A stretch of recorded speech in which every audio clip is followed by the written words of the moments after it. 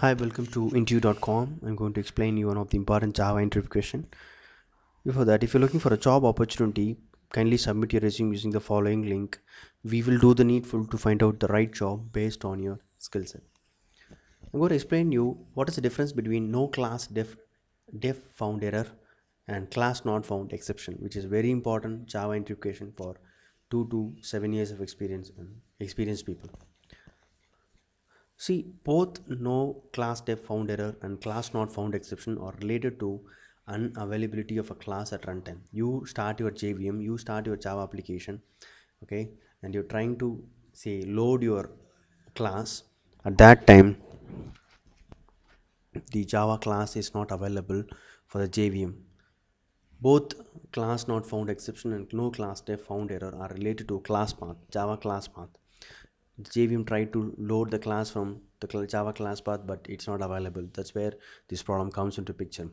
Class not found exception comes in Java if you try to load a class at runtime. Very important. Class not found exception comes in Java if you try to load a class at runtime using with class.forName or class.load class. Okay, these are the APIs. So it will throw you an error if it's not able to find out the exact class that you mentioned in the in your application. So no class def found error.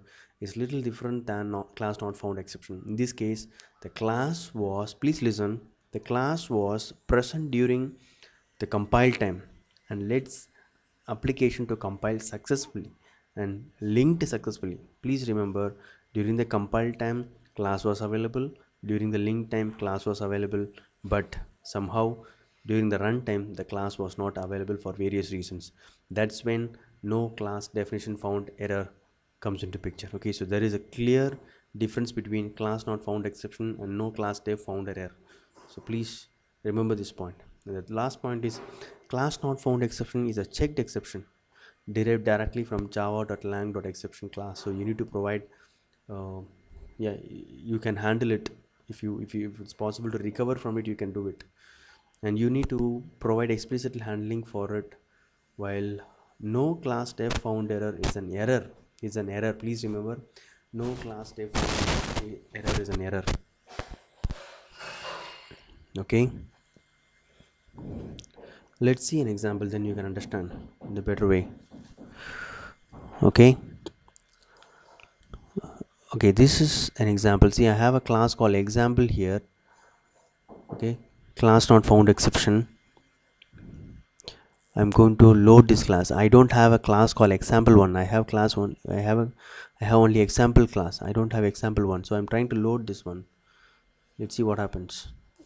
It tries to load okay example one which I don't have at all. So during the runtime when I try to load a class which is not available then it will go to throw an exception. Class not found exception. It says class not found exception okay then let's see no class def found error. See during the during the compile time class is available. During the compile time class is available. Okay? Now what i'm going to do is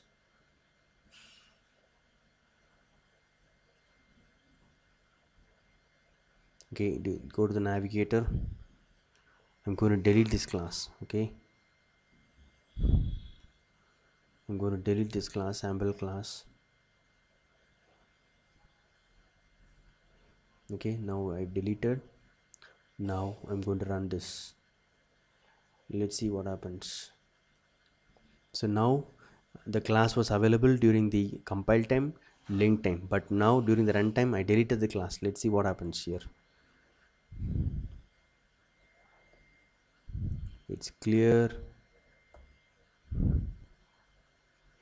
It's clear that it says no class def found error. No class def found error. That means class was available during the compile time link time but runtime it is not available.